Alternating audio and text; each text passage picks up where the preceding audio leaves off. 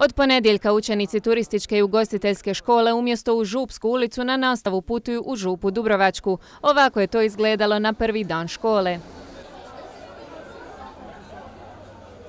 Od ovih scena prošle je nekoliko dana. Ravnatelj Antun Perušina pred našim kamerama otkriva kako se i učenici i profesori privikavaju na novu situaciju. Sve kaže odlično funkcionira. E, za sad nemam informacije da ima većih poteškoća s dolasima, naročito ne onih iz e, nekih mjesta iz kojih smo očekivali.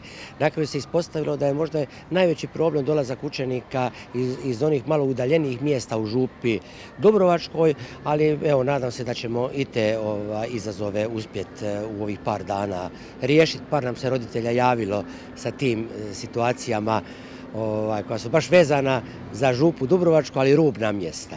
No vijest da će učenici prvo polugodište provesti u susjednoj općini izazvala je buru reakcija. Dio roditelja negodovao je što se rješenje za učenike nije našlo na području grada, dok je dio smatrao kako se trebao osigurati poseban linijski prijevoz. Pazite, pritužbi je bilo i bit će.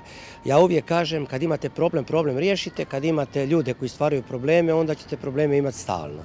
Naravno da morate očekivati gužbu kada na ovakav jedan prostor e, dođe u jednom trenutku 250-300 učenika, trenutno se stvori gužva, međutim, čim su učenici ušli u autobuse, čim se autobus napunio, autobus je krenuo i autobus je u biti pun učenika, ako nije bilo, a uglavnom nema ovaj, ostalih e, ljudi koji se voze osim učenika, vozi direktno u, u Župu Dubrovačku, odnosno u e, Kupare i Mline.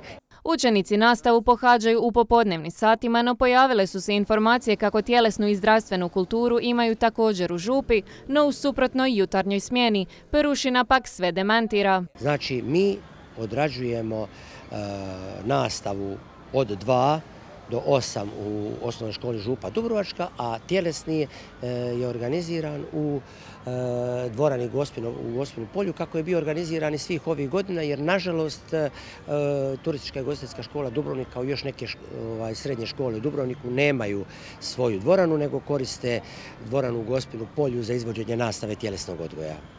Perušina dodaje kako se radovi na postojećoj školskoj zgradi izvode predviđenom dinamikom, a sve bi, kako kaže, trebalo završiti do Božića. U međuvremenu učenici će i dalje ići u župu Dubrovačku jer, kako kaže, drugog rješenja nema.